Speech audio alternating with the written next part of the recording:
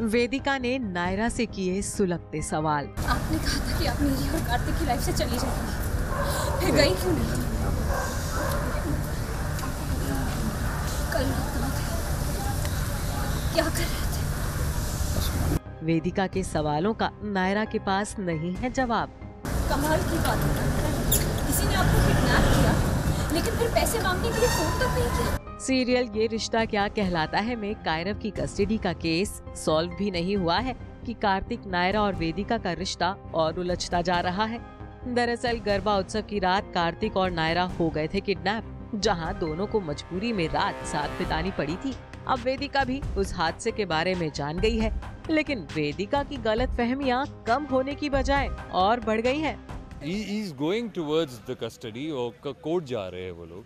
और कस्टडी के लिए आगे बढ़ रहे हैं तो वो ऑब्वियसली उनके लिए बहुत बड़ी बात है और बहुत मुश्किल से हो रहा है क्योंकि इससे पहले जो एक रात पहले जब नवरात्रि हुई थी तो नवरात्रि में जो गुंडों ने उनको किडनैप किया था, उसमें क्लोजनेस आए थे वो लोग और उसके बाद जब वो उठते हैं सुबह को तो ऑलरेडी सिंघानियाज में उठते तो उन्हें एग्जैक्टली याद नहीं है कि क्या हुआ था।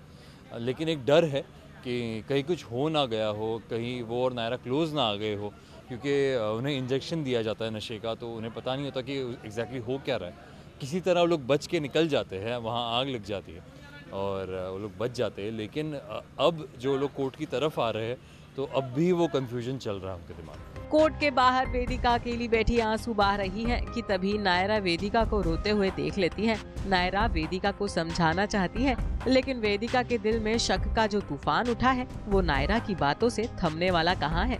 आपने कहा था कि आप मेरी और कार्तिक की लाइफ से चली जाएँगी। फिर गई क्यों नहीं? कल रात कहाँ थे? क्या कर रहे थे?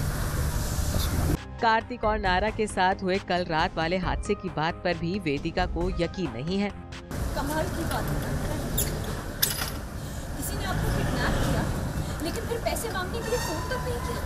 ना आपको चोट पहुंचाई ना आपका वॉलेट ज्वेलरी पर्स घड़ी कुछ भी नहीं लिया। यहाँ तक कि आपको छोड़ भी दिया।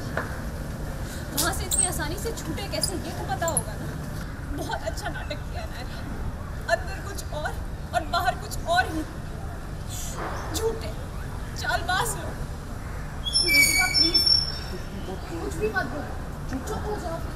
हालाँकि नायरा वेदिका को समझाने की कोशिश करती है कि उन्होंने किसी से कोई झूठ नहीं बोला है। मैंने कोई झूठ नहीं बोला? है है